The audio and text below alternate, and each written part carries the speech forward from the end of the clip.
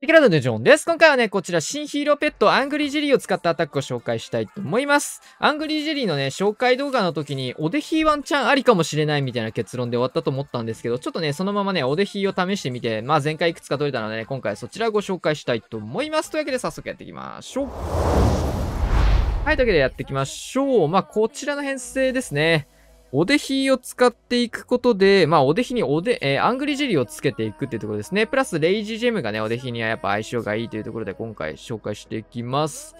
で、最初のね、35秒間は防衛施設をウォーデンが殴ってくれるという特性を活かしてね、このアングリジェリーをつけたことによって防衛施設から殴ってくれると対地クロスから撃たれてるんですけど、この辺のね、HP の高い金とか、金庫とかね、無視して先にこの辺のね、防衛施設を殴りに行ける。このおでひ強いっすよね。で、反対サイドはね、新レベルのシューターとかも起きつつ、っていう感じになっております。まあ、この長弾大砲が折れたら後で、うん、終わりでいいかなと思ってる感じなんですけど、これ見えてくるかな？もう、オーデンからね、離れてヒーローがね、ヒーローペットアングリージェリーも活動中で洗脳が解けた状況ですね。そうすると引っ張ることができます。これね、引っ張れないんですよ、洗脳が解けないと。だからこれがね、結構難しいなって思ったところなので、35秒間は強制防衛施設殴りなので、このね、管理は結構難しいなって思いましたね。慣れる。これがね、第一戦になるんだったらちょっと慣れる必要があるなって感じたアタックでしたね。これがね、最初の配置で試してみたって感じなので、まあ、手探りながらって感じではあるんですけど、はい、ポイズンタワー2つ吐かせてから、こうして、まず、ダブルダブルレイジトーム、オーバーグローみたいな感じでね、今のオーバーグローを使ったルートライダー編成のようなようなアタックをしております。タウンホールを隠して、まあ、大外削っていく、最終的にタウンホールに集まっていくみたいなやり方ですね。これがね、やっぱ強いですね。まあ、おでひを軸にしたところぐらいしか特に変わりはなくて、もうアングリジュリはもうすでにどっか飛んではいるんですけどで、一応エレクトロタイタンがね、新レベル来たっていうところでね、採用自体はしてるような状況です。アングリジェリーは今やられましたね。これね、空飛んでるっていうところで、対空砲に撃たれるところが弱点ではあるかなと思いました。うん。空編成に空オーデンつけてアングリージェリーをつければ一応やられない形をするんだけど、それだったらオールでいいじゃんって話なので まあわざわざ空を活かした何かをする必要はなさそうかなと思ってます。続けてみていきましょう。こちらもデヒーからスタートしていくんですけど、この辺のね、HP の高い金庫とかこの辺の邪魔な施設のカット本来はね、おデヒーやんなきゃいけないところなんだけど、もう、セカンドターゲットがもう クロスボウいきなり殴れるって、これめっちゃ強いっすよね。で、次、対空砲撃って、ボムター打って投石みたいな感じなんだけど、これがね、35秒のね、洗脳のコントロールがすごい難しいシーンが出て、見ててくださいね、これ。洗脳状態、今、おでんの上がくるくる回ってるんだけど、この状況の時は防衛施設が殴れるんだけど、溶けちゃうんですよね。なので、ターゲットが、しかも、あの、ヒーローペットがついたことによって、これ、ロイヤルチャンピオンにターゲットついちゃうんですよ。で、そうするとね、この、投石を殴ってたのに、このターゲットが外れちゃうんですよね。これやっててちょっと難しいなって感じました。まあ、今回は特にそれに対して問題がない配置だったので、まあこれですぐ戻すことはできたんですけどもという感じなんですけど、まあちょっと気をつけないと変なミス起こりそうな感覚はありましたね。で、透過停車置いてとかなんか最近のアタックっぽいことをやりつつ、この辺はファーストトライだったのでどうなるかわかんないでやね、手当たり次第というか、なんか、行き当たりばったりなアタックにはなっていくんですけど、これね、開発ビルドがね、配置を変えるたびにね、編成とか防衛変軍とか全部入れ直しになっちゃうんでね、さっき使った編成がどんな編成だったかっていうのがね、いまいち、コピーとかもできないんでね、あー、チャットに貼っときゃよかったな。今更だけど。グランチャットにさっき使った編成の URL っていうか、あれ、共有できたよね。それでやればよかった。できないんでね、毎回作り直したんで、ちょっと微妙にユニットの構成は変わってるかもしれないんですけど。で、まあ、このままルートライダー。まあ、この辺はもう普通のルートライダーラッシュになっちゃって、おでんはとっくに死んじゃってるので、アングリージェリーの効果なくなってはいるんですけど、初動のおでひの時間短縮みたいなところはちょっと強いよね。防衛説から殴ることによって、まあ、火力の高いところっていうのは、まあ、先に突破することができて、なんかその辺なんとかうまいこといくみたいなことができそうですね。まあ、あとはまあ、通に回収ってとこと、あと、そうだ、ヘイスト薬、弱体化入ってるんだけど、ヘイスト薬の採用してますね。そこも注目って感じなんだけど、ぶっちゃけ2%、これわかんないっすね。うん。攻撃速度2%下がったらしいですよ、このヘイスト薬。わかる？これ。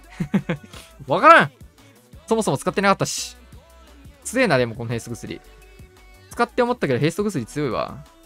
うん。さあ見ていきましょう。これがね、なかなかね、めんどくさかったんですよ。35秒コントロールが結構難しかったんで、まあ、配置選んでなんだかクラン対戦とかそういう時にやれればいいのかなって思ってます。結構ね、レジェンドリーグで毎回この編成で常におでひ防衛施設を殴ることからスタートするんだって考えるとちょっと難しいのかもしんないけど、まあ、慣れたらできるのかもしんないね。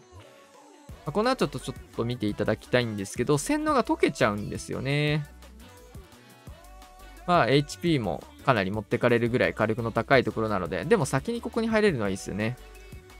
ここね、ヒーローペットの方が現れてしまったのでターゲットを取られ、まあ、ちょっとさっきインビジブル打ったんだけど、あのタイミングぐらいで打ってあげないとね、おでんが落ちること確認済みなんでね、ちょっと秘書犬アタックになってます、これは。おでん落ちちゃったんで、マジっつって。で、早めにね、クイーンを出しても、ウォーデン引っ張れないんでね、あそこまで完全に処理しないとこれ持ってけないっていうのがね、注意点ですね。これがね、難しかった。うん。途中でクイーン引っ張る、あ、ちょっとその失敗パターン見せますね。それも見せた方がいいわ、絶対これ。これ、成功例だけ見ても多分、なんでってなっちゃうから多分。自分でやっていきなり失敗することが生まれると思うから、これは。ちょっとこのアタックの後にこのアタックの失敗例も見せますね。さあ、ここトーム。ちなみにね、ガーゴイル出してトームってるんですけどね、僕これストライカー出したと思ってトームってますね。ガーゴイル出してますね。びっくり。今気づきましたね。まあ、ここから先はただのオーバーグロールートライダーではあるので、おでんの方は、あ、そうか、途中でロイヤルチャンピオンに気づかれてぶち抜かれたのか。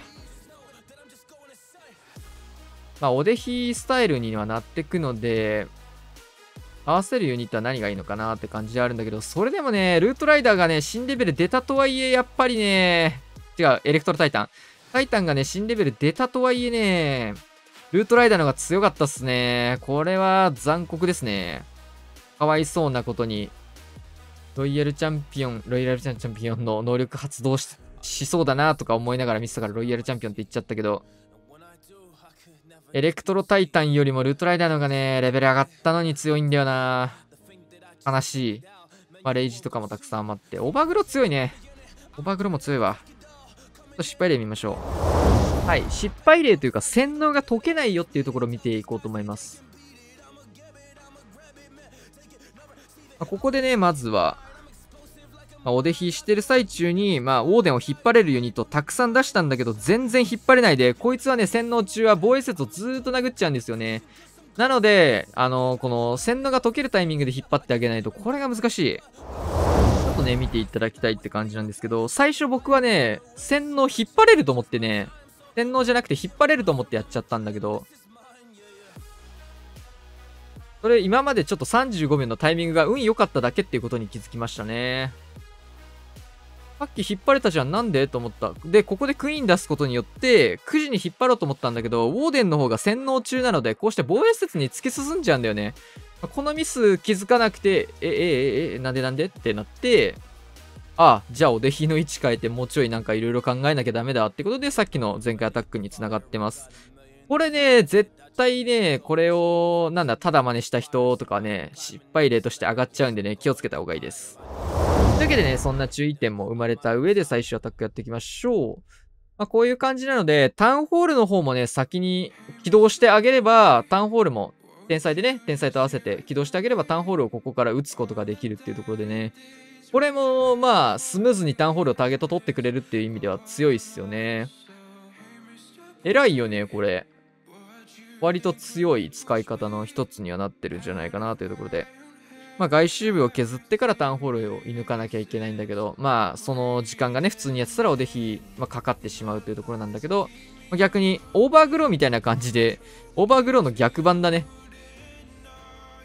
先に防衛施設を崩してから外周部の施設を殴るっていうところで、まあ割とおでひからすると、いいことしてくれてるなって感覚はありました。はい。あとはまあこっからは通常通りの感じで、えっ、ー、と、アングリジェリーはすぐ死ぬね。まあおでひってヒーローペットすぐ死ぬからね、ぶっちゃけ。宇宙人、なんかエイリアンみたいなタコは上の方で死んでおりますわ。まあここからは普通のなんか、おでひの系の戦術。まあ合わせるの、今回ね、ルートライダー使ってるんですけど、まあ、スーパーボーラー使うとかでもいいと思いますし、スーパーボーラーもね、ちょっと前に新レベル来てたはずだよね。まあ、一応エレクトロタイタンも新レベル来てるので、タイタン、やってた人はタイタンで合わせるのもいいと思いますし、まあ、おでひのアクセントとして、こういうアングリージェリーを使うっていうのも一つ面白い手だよってことね。